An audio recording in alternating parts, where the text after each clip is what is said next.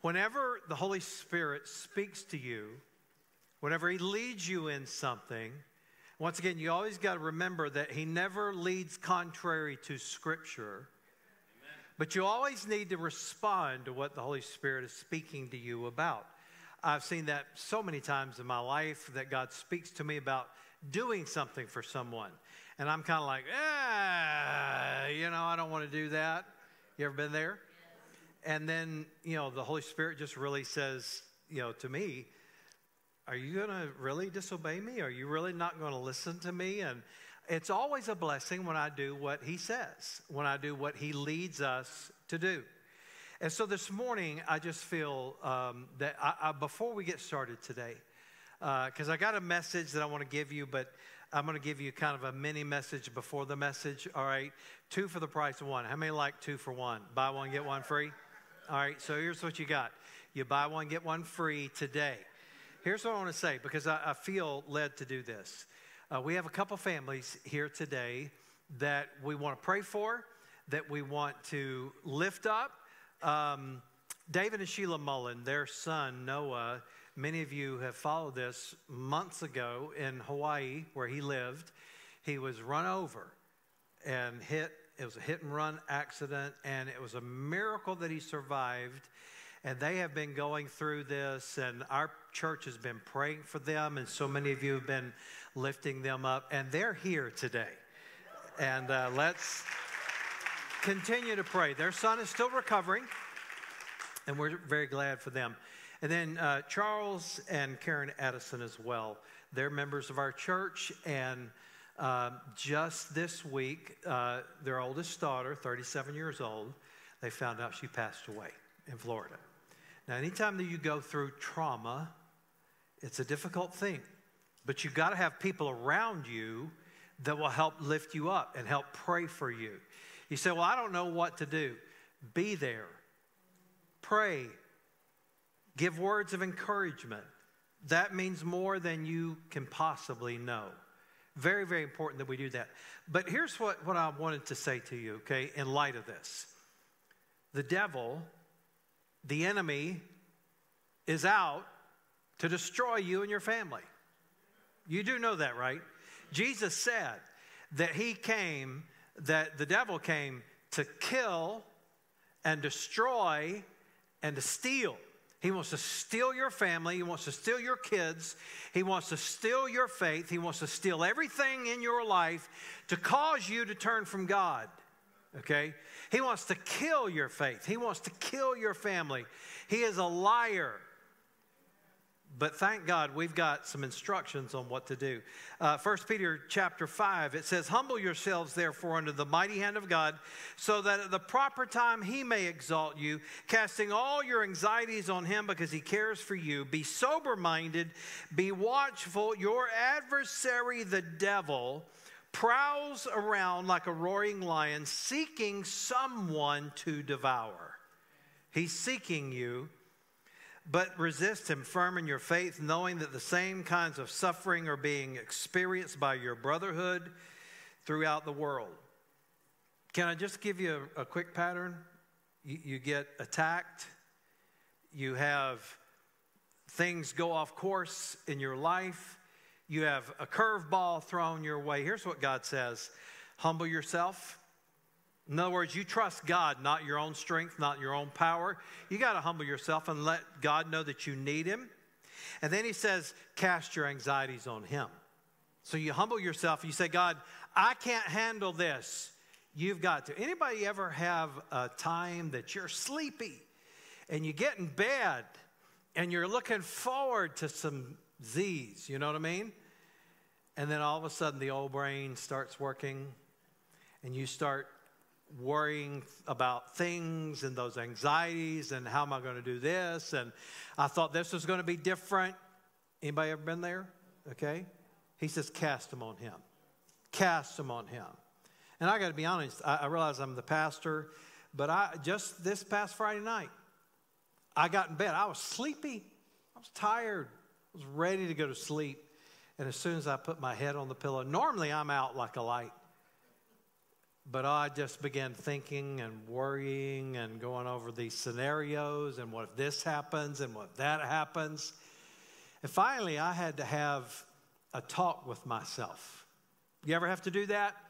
And I had to say, myself, uh, you had better cast all these things on God. And I had to pray. I had to cast them over to Him. I had roll them over to Him. And then I was able to go to sleep. He said we are to cast our cares, be sober minded, in other words, be serious, be watchful, be aware of what goes on around you. Uh, then he says, resist him. By how? By standing firm in your faith. When the enemy comes against you, you resist him not in your strength, not because you have determination, not because you're good, but because you know who is. You know who is strong. You know who is stronger than he is. And what you do is you say, I'm going to resist you in faith. I am going to trust in Jesus. And he says, then remember, you're not alone. People around you in the world are going through what you're going through. So, whenever you have something that could be crushing in your life, God says, remember, there are Christians around you not just in the church, but around the world that are going through similar things. And sometimes just hearing from them can be an encouragement. And he says that after you've suffered a little while, the God of all grace, aren't you glad he's got a lot of grace? The God of all grace, who has called you to his eternal glory in Christ, he's not left you, he's not leaving you alone. He's got a plan for your life. He's called you to the eternal glory. Notice what he said will himself. Jesus not leaving you. You're not alone. He hadn't forgot about you. He hasn't left you alone in the dark when you have pain and struggles and difficulties. He said he will himself uh, restore, confirm, strengthen, and establish you. That, that sounds like something that I want in my life. And, and you do too. And so, my encouragement today is that during those times of grief, during those times of challenge, that you resist Him. And when you do, in faith, God promises He's going to establish you. Do we claim that by faith today, church? I believe it. Heavenly Father, I pray over these and other families that are going through difficult times. Lord, first of all, thank you that the blood of Jesus covers us. Thank you that you have given us the promises of God. Thank you that we know who wins. You have already won.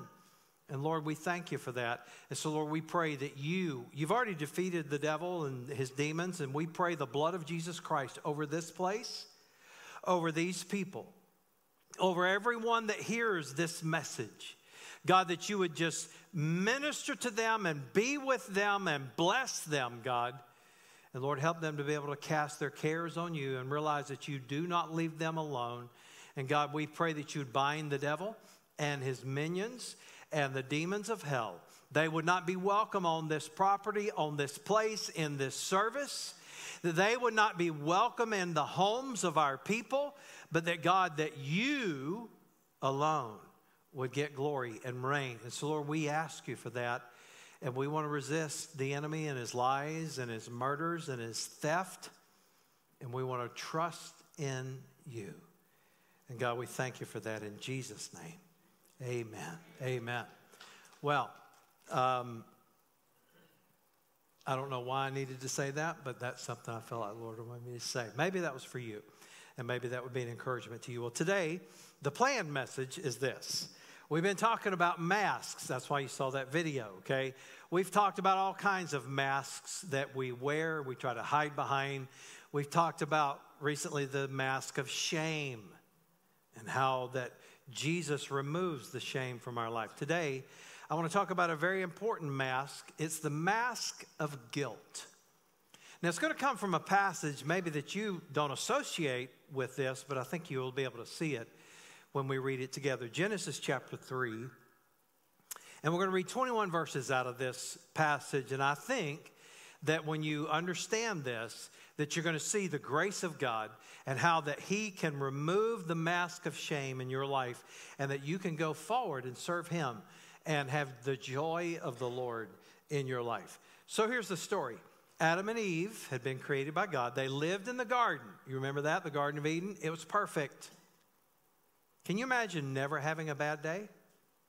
Never having an argument. A husband and wife that never had an argument. All right? It was perfect in every way. And God told them, He said, You're going to be blessed. You can eat of every tree in the garden except one the tree of the knowledge of good and evil. He said, When you do, you'll die. And this was God testing their faith. And by the way, God always tests our faith. Next week, I'm going to speak uh, from a passage in Genesis about Abraham. And God asked him to sacrifice his only son. Now, that brings up a lot of questions, doesn't it? Does God approve a human sacrifice? You've got to come next week to find the answer, all right? So, hope you'll be here. But in this story, we see that man and woman, they succumb to temptation. And let's see what happened to them as a result of that. Genesis 3, verse 1. Now the serpent was more crafty than any other beast of the field that the Lord God had made. And he said to the woman, Hold on, for those of you skeptics, talking snakes, really?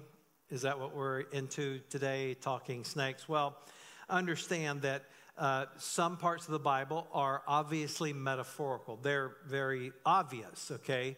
Um, this was Satan. Okay, make no mistake about it. This wasn't just some uh, snake that decided to get up and start talking. This was Satan himself. Now, perhaps he possessed the snake. We don't know. We do know that demons possessed uh, herd of pigs in the Gospels. Remember, Jesus cast uh, demons out. And they went into a herd of swine. I love that word, swine, uh, in the New Testament and older translations.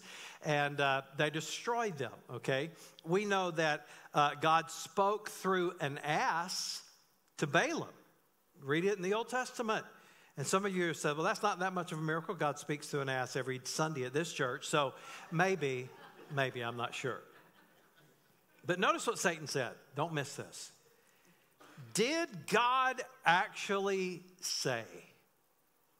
You ever doubt God's word? You ever doubt God's promises? You ever, ever doubt God's love? You ever doubt God's presence? Of course you do.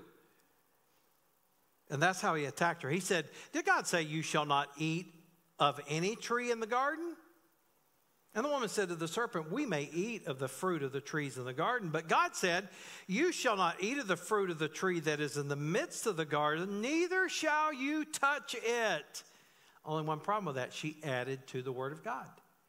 God didn't say don't touch it. By the way, whenever we add to or take away from the word of God for our own agenda, for our own conscience sake, we always get in trouble. Okay? Uh, he said, uh, but the serpent said to the woman, You will not surely die, for God knows that when you eat of it, your eyes will be opened, and you will be like God, knowing good and evil. What is that?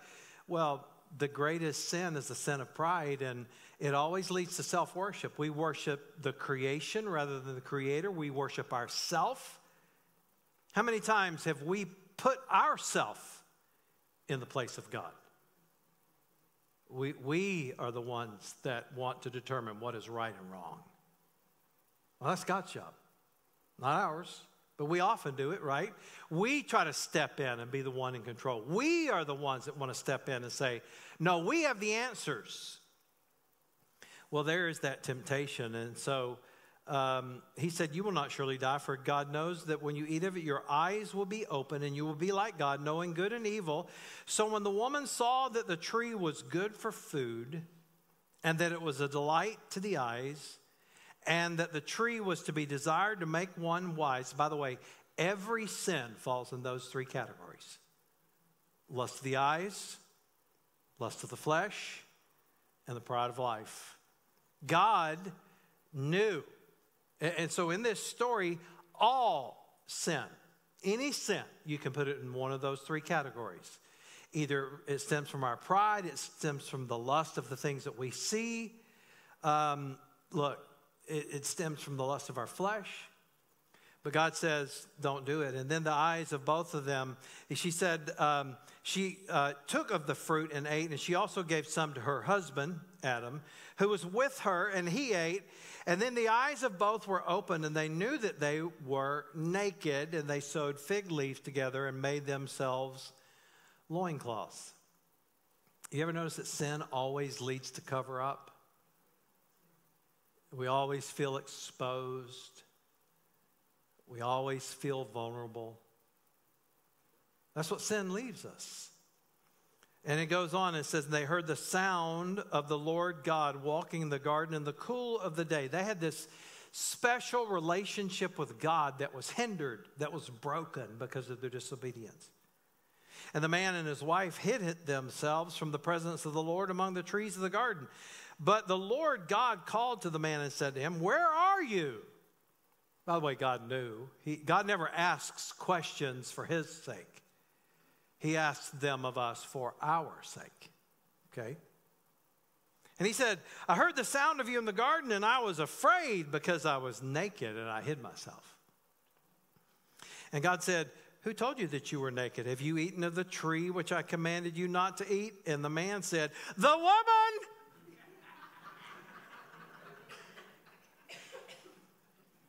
We're, we've been pretty good at, about that ever since.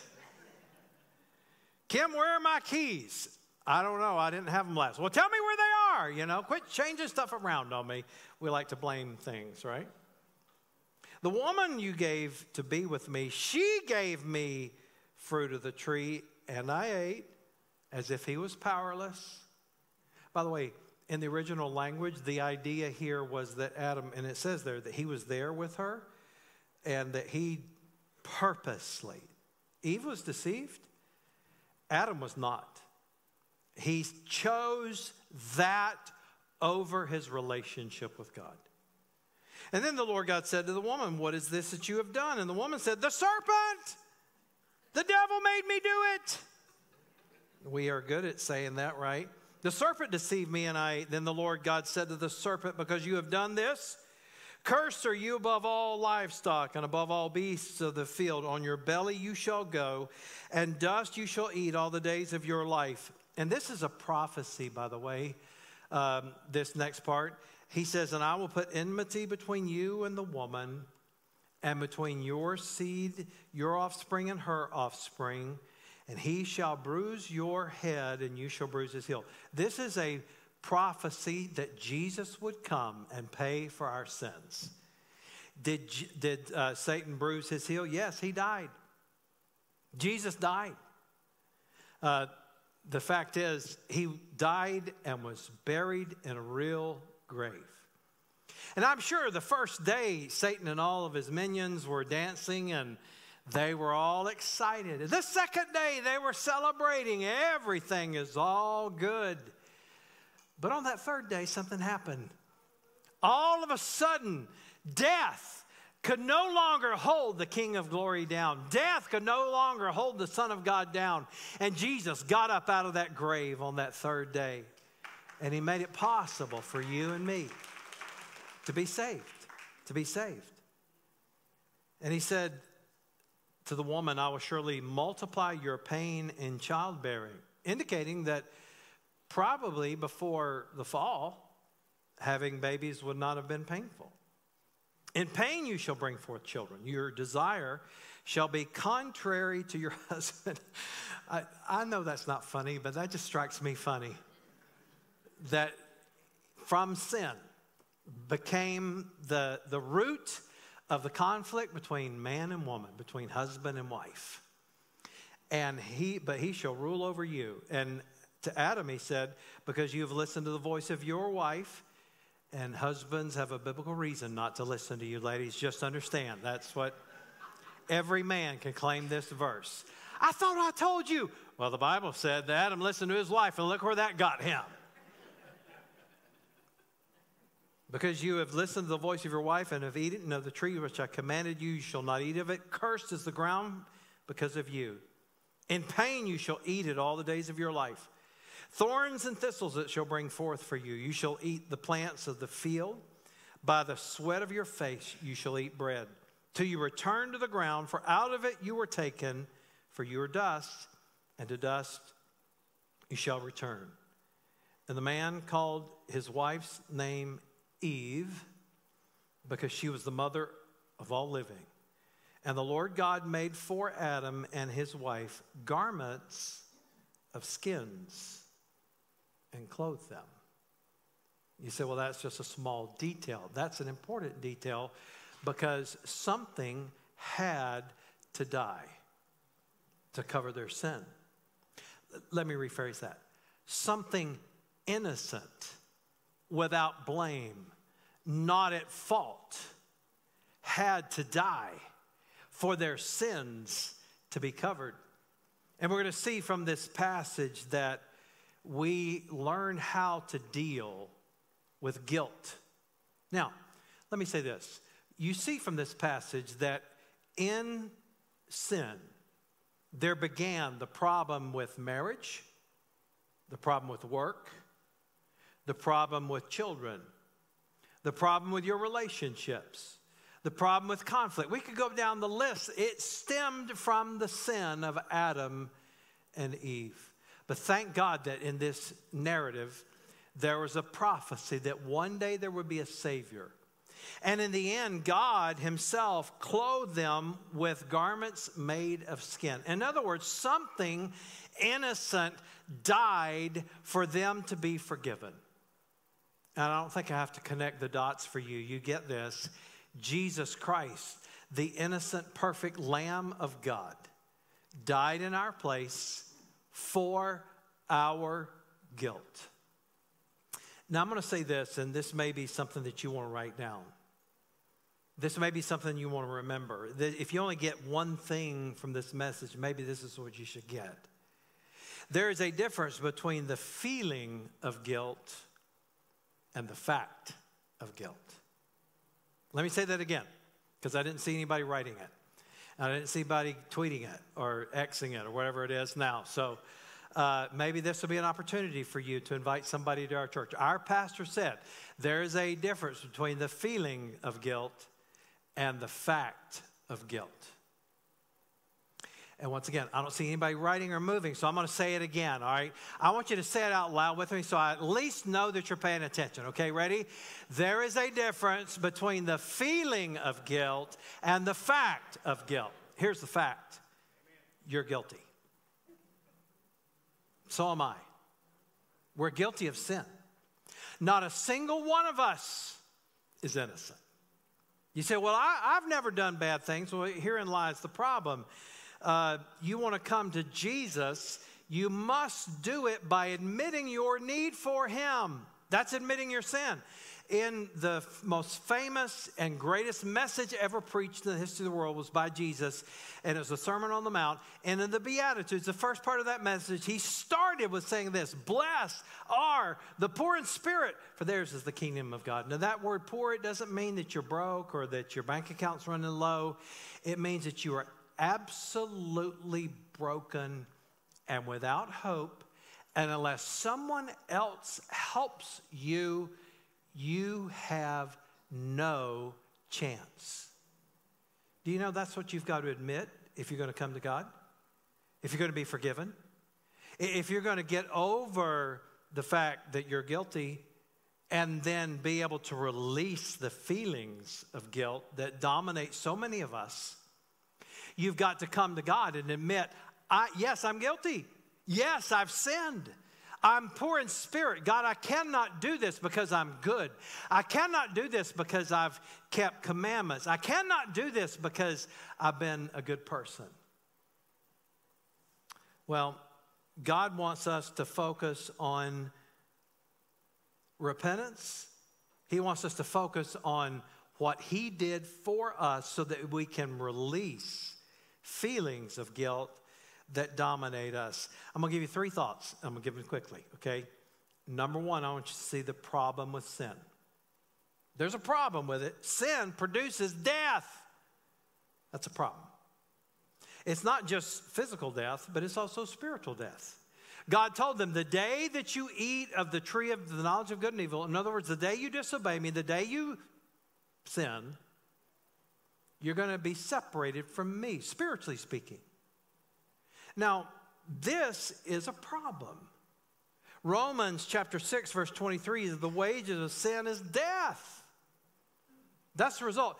I've had people ask me before, why did Jesus have to die? Couldn't God have just forgiven our sins? Well, the payment of sin is death.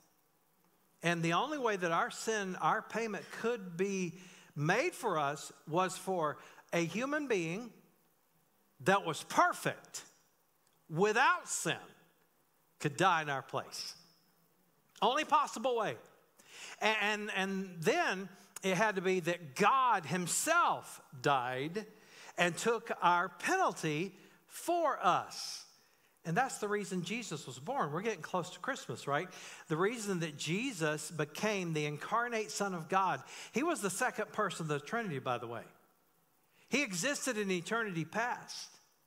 And the Father, when He said, you know what, someone needs to pay for the sin in order for these human beings to be made right with me, Jesus said, Not my will, but yours be done. And He obeyed the Father. And what happened? He died. He had to become human because only as a human could he die because the Bible says God is spirit, and they that worship him must worship in spirit and truth. God cannot die unless he became human. And so, what Jesus did for us, he was born of a virgin. Yes, of a virgin. He was a literal human being. He entered into this world like every other child ever been born on the face of this planet throughout history. He was born from a mother.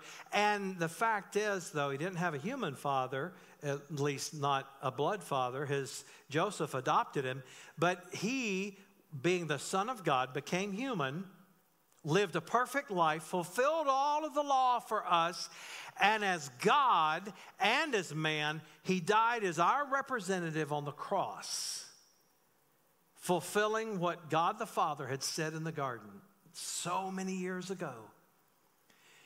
You're going to bruise his heel but he is going to crush your head. How many know that a heel bruise just makes you limp for a minute? But when you crush something's head, it's dead, it's over. And thank God. There's a problem with sin, yes. There's a problem with sin. It causes spiritual death. I, I dropped my notes. There we go. I feel like the guy that. Uh, was preaching at this church, and they did not like their pastors to use notes. And he wore a coat. He said he was so used to preaching with notes, he didn't know what to do. So he, he came up with a system. He clipped his notes on the inside of his jacket. And every time he needed to make a point, he'd open up his coat and take a peek, and he'd, you know, go on preaching. And he, you know, talked about in Genesis and everything, and, and God said, and he, he'd look in the coat, and he'd be like, yeah, and it'd remind him. And he didn't realize it, but his notes had slipped out of the little paper clip and fallen on the ground. He didn't know it. And he's getting up to a big point, and he said, and the man who built the ark was J.C. Penney. And he went, That's kind of the way I am without my notes. Romans 5:12 when Adam sinned sin entered the world and, and sin Adam's sin brought death so death spread to everyone for everyone is sin. Understand that the problem with sin is this it produces death, it produces separation from God, and it produces guilt.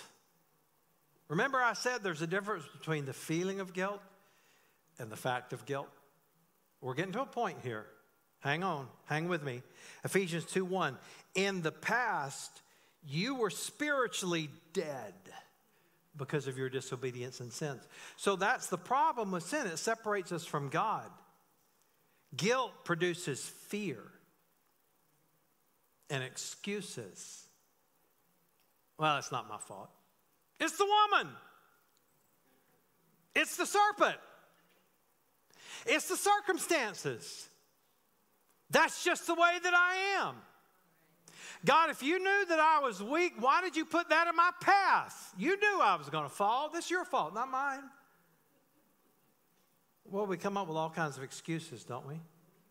Guilt causes blame shifting. We see it in the Garden of Eden. It, it causes cover up. It causes doubting God's word, doubting his goodness, doubting his love, doubting his generosity. Think about it. God said, You may eat of every tree.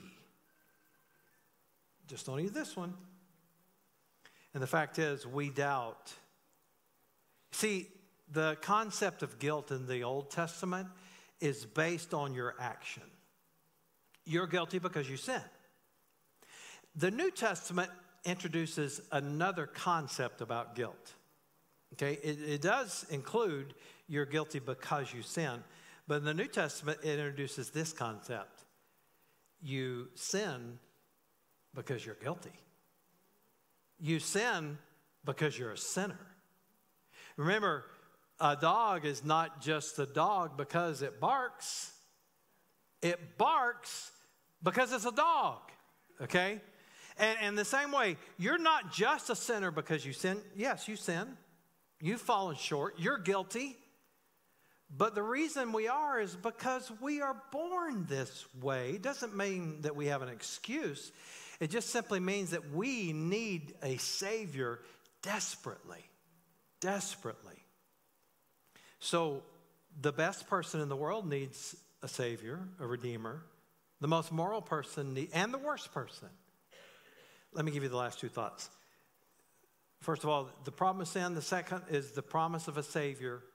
God promised this prophecy about Jesus, and God made a sacrifice to cover them with animal skins. Once again, could not be a clearer picture than the Lamb of God, the innocent Lamb of God, the perfect Lamb of God without sin who died in our place. He died so that our sins could be forgiven, so that we could be covered. It's a beautiful picture that uh, guilt, yes, we're guilty.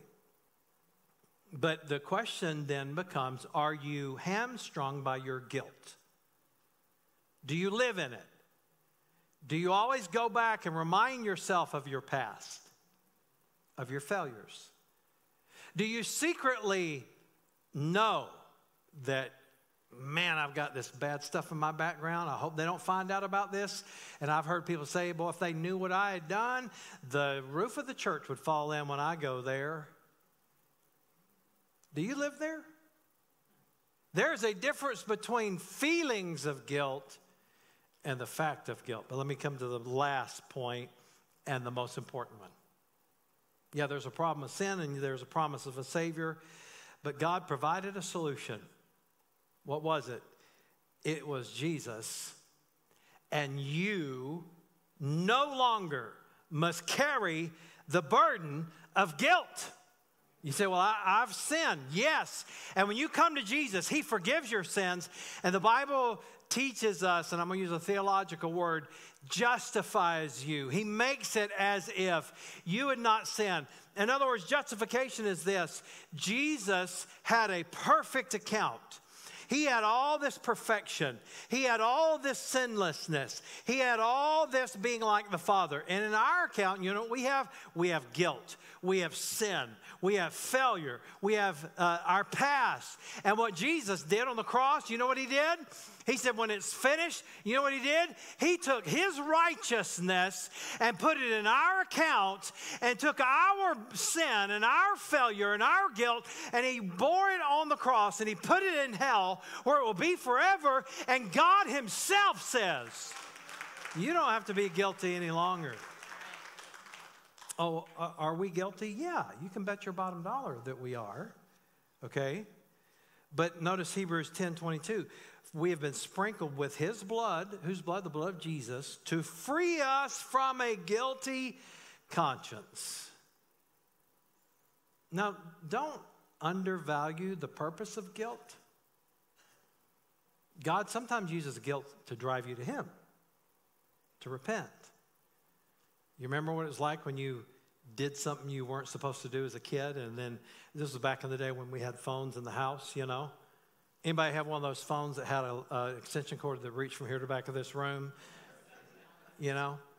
And if you had two phones, your little sister was listening in when you're trying to talk to your girlfriend. Well, I have no idea what I was going to make a point on that. That was not a dramatic pause. That was a pause because I forgot what the point that I was going to make because of that.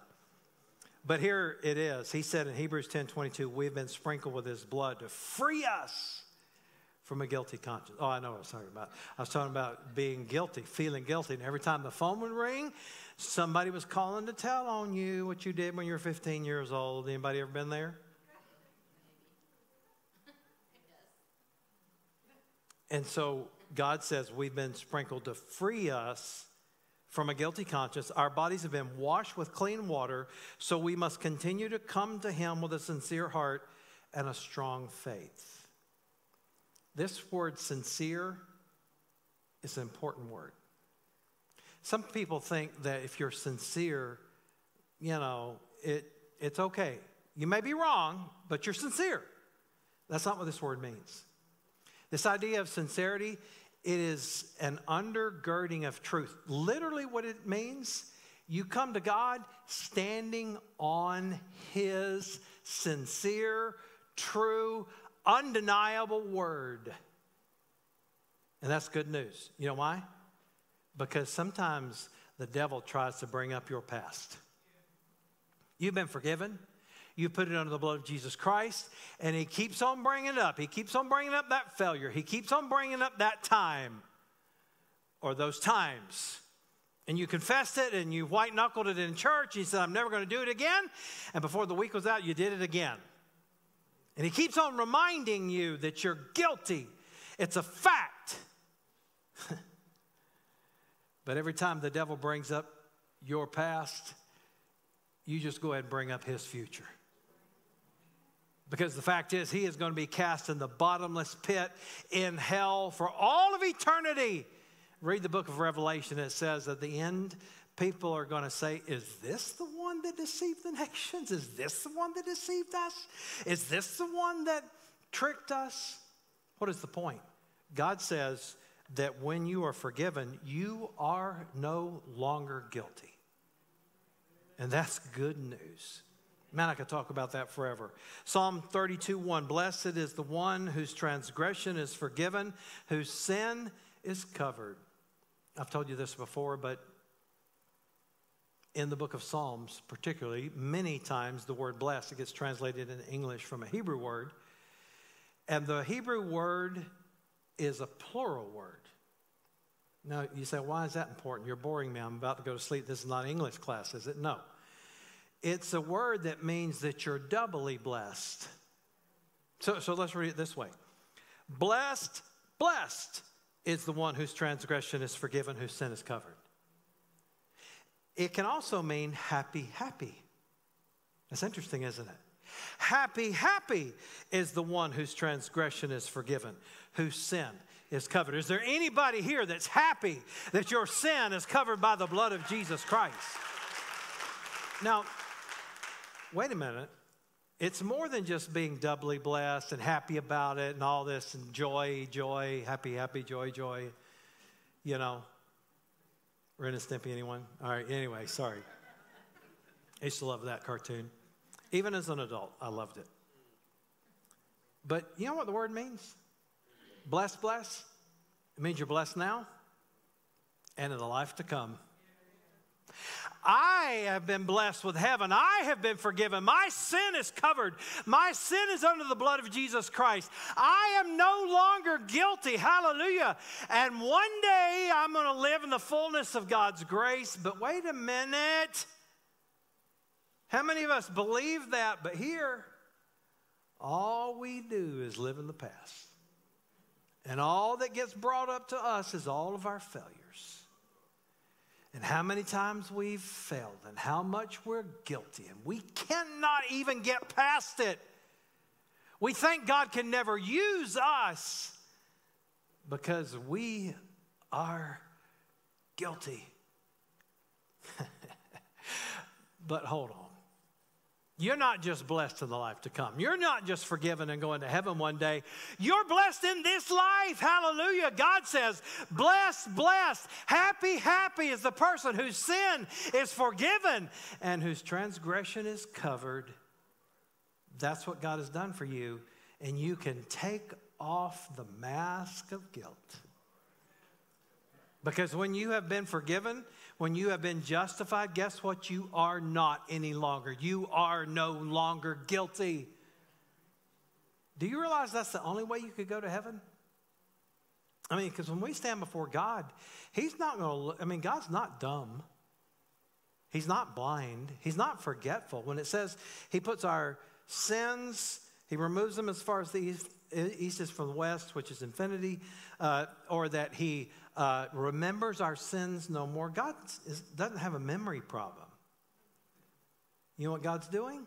He is willfully covering your sin with the blood of Jesus Christ. And when he looks at you, you know what he sees?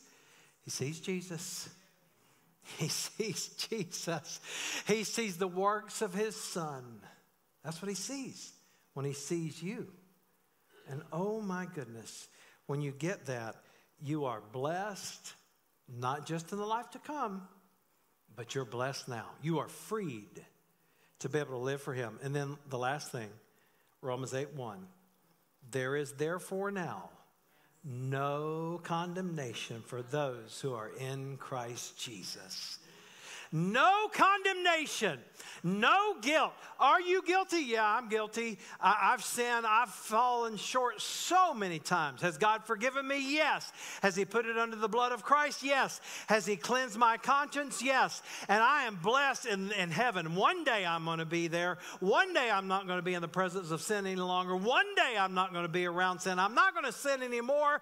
But thank God I don't have to wait till then because I am blessed now as well as in the life to come. And I can live in the truth that God says, There is therefore now no condemnation for those who are in Christ Jesus. And so when the devil, when you put your faith in Christ and He has forgiven you, then when the devil comes to you, you just look at him and say, Not guilty. When he tries to remind you of your failures, you just say, Sorry, not guilty. Not guilty. Why? Because of Jesus. So here's the question What do you do with your mask of guilt? When you're guilty, repent. It does drive us to Him. And by the way, the word repent is a very misunderstood word in the Bible, and it's a very important word. It means to agree with God, it means to change your thinking.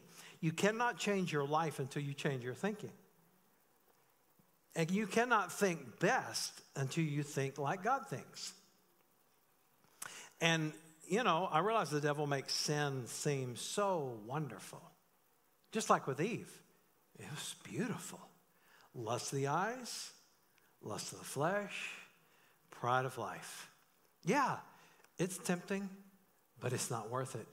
And here's what God says turn your guilt to Him. And therein is the good news. Heavenly Father, I pray that you'd help all of us to realize that apart from you, we are nothing. Apart from you, we cannot be made right with you. Apart from you, we, we don't have the goodness that is required to go to heaven. But thank God that you do. And you give it to us freely. Freely. And God, we thank you for that. Before I finish my prayer, I wonder if there's anyone today that would say, Pastor Ritchie, I need that grace. I need that forgiveness. I need Jesus in my life. Would you let me know by raising your hand say I need to receive Christ today? Anybody just nobody looking but me. I need Christ in my life. I see your hand. You can put it down. Maybe you'll say something like this. Pray something like this. Dear God, I believe that Jesus Christ is the Son of God. And I believe that you died on the cross for my sins and you rose from the grave. And right now I'm asking you to forgive me, cleanse me from my guilt, make me right with you. I give myself to you. Forgive me of my sins.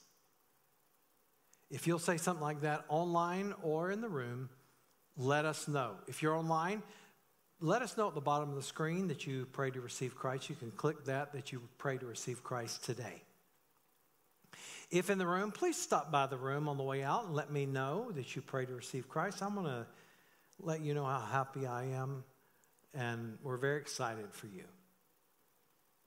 I wonder what you need to do with your guilt. Is there anyone in the room that would say, Pastor, I want you to pray for me? I'm dealing with some guilt, dealing with some problems. I see your hand, lots of people, lots of people. If we're honest, all of us could raise our hand. I want you to realize that God has promised that you can release it to Him. And when you do, you'll be free.